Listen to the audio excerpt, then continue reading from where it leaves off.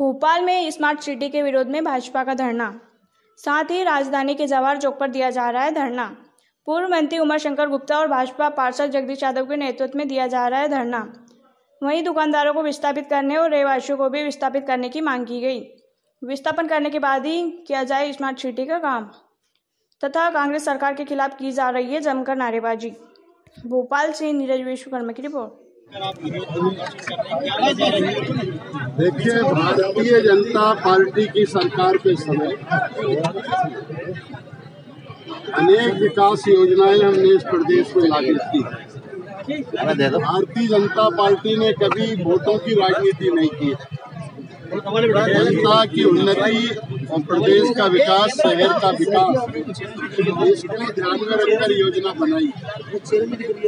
Smart city को लेकर कांग्रेस के द्वारा जिस बर्बरता पूर्वक कार्रवाई इस समय की जा रही है ये स्मार्ट सिटी का अंग नहीं है ना हमारी योजना की।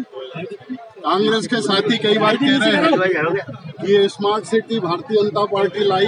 हाँ मैं कह रहा हूँ smart city Bharatiya Janata party लाई। चौबीस घंटे बिजली भारतीय जनता पार्टी लाई। मध्य प्रदेश में सड़कें भारतीय जनता पार्टी लाई। सिंचाई की व्यवस्था भारतीय जनता पार्टी ने की। गेहूँ उत्पादन में नंबर एक भारतीय जनता पार्टी ने किया।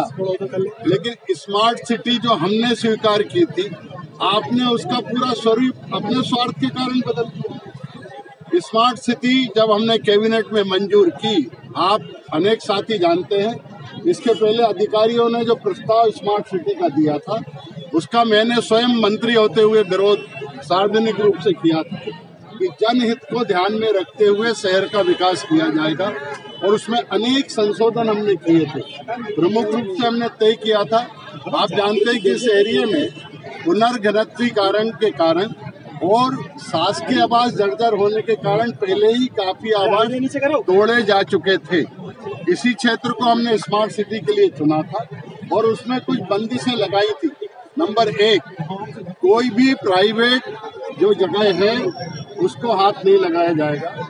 नंबर दो कोई भी धार्मिक स्थान, मंदिर, मस्जिद, गुरुद्वारा, इसको हाथ नहीं लगाया जाएगा। सरकार के द्वारा आवंटित किसी भी जगह को हाथ नहीं लगाया जाएगा।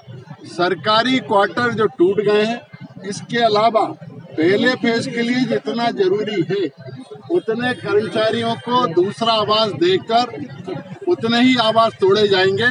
और स्मार्ट सिटी में सबसे पहले सरकारी कर्मचारियों के आवास ही बनाए जाएँगे। और आपने देखा होगा होटल पलाश के सामने। हमने भूमि पूजन भी किया था, माननीय मुख्यमंत्री शिवराज सिंह चौहान तत्कालीन। और वो आवास लगभग बनने को तैयार है लेट लतीफी के कारण पूरे नहीं हो पाए। लेकिन अब हम देख रहे हैं उस योजना में परिवर्तन करके जब तय है कि अब कर्मचारियों के आवास यहाँ देकर ही खाली कराए जाएँगे, उनको धमकाया जा रहा है।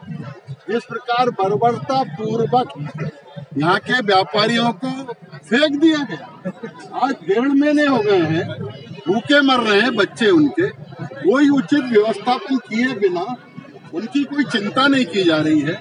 बाण गंगा में हर कई निशान लगाए जा रहे हैं। ये एमएलए रेस्ट हाउस के मकानों में जबरन के निशान लगा के जा रहे हैं।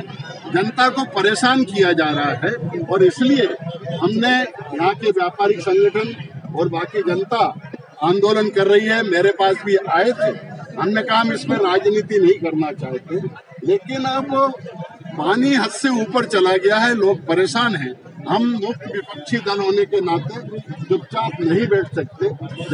जनता पर अन्याय और शोषण व्यापारियों का नहीं होने दे सकते। इसलिए आज हमें सांकेतिक धरना दे रहे हैं। मुख्यमंत्री जी से ये मांग करते हैं स्मार्ट सिटी के मूल स्वरूप को जनता के सामने रखा जाए और उसी के अनुसार कार्रवाई की जाए।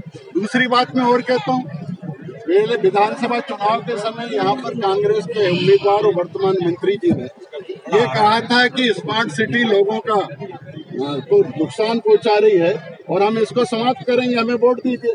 जनता ने आपको वोट दे दिया। तो अब स्मार्ट सिटी को और ठीक करने की बजाय आप उसको और क्यों बिगाड़ रहे हैं? जनता मिलने जाती है, आप उनसे मिलने को तैयार नहीं। व्यापारी बच्चे भूखे मर रहे हैं, आप चिंता करने को तैयार है, नहीं है। और इसलिए आज भारतीय जनता पार्टी ने हमने यहाँ सांकेतिक धरना दिया है। मैं आप सबके माध्यम से, हम स्मार्ट सिटी के पक्षधर हैं, लेकिन जनता को परेशान करने के लिए नहीं, व्यापारियों को परेशान करने के लिए नहीं, लोगों को धमकाने के लिए नहीं है। और अगर कांग्रेस की सरकार ने इन कृत्यों को बंद नहीं किया व्यापारियों को न्याय नहीं दिलाया तो हम किसी भी सीमा तक जाकर इस लड़ाई को लड़ेंगे subscribe now and press the bell icon.